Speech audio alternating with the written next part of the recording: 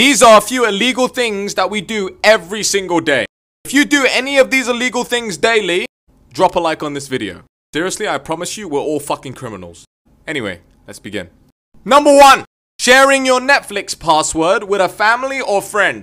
Yeah, don't fucking lie, we're all guilty of this shit. But who fucking cares, right? It's free Netflix, I'm taking that. I don't think the FBI and the CIA really give a shit. You might get your Netflix account banned, but fuck it. Number two, okay, anybody that drives has been guilty of this one. Going like five to seven miles above the speed limit, alright?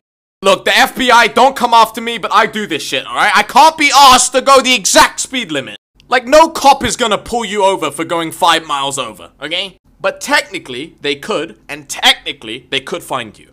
But we all do it, who cares? Number three. Okay, all of you horn dogs out there, alright? That are underage, yeah, watching P-O-R-N underage is illegal. I am guilty of this one, and I will proudly say so. And I think every guy out there will agree with me. We all discovered P-O-R-N at like fucking 13, okay? Who didn't? But technically, it's illegal, and you could get in trouble. Number four. Once again, for my drivers out there, a rolling stop. If you don't know what this means, it means when you see like a stop sign, and instead of actually fully stopping, which is what you're supposed to do, we slow down and not come to a full stop and then go.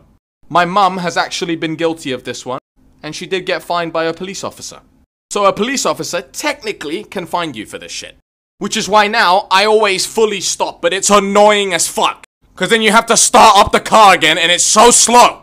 And last but definitely not least, at number 5, jaywalking. Who doesn't do this? But it's apparently illegal!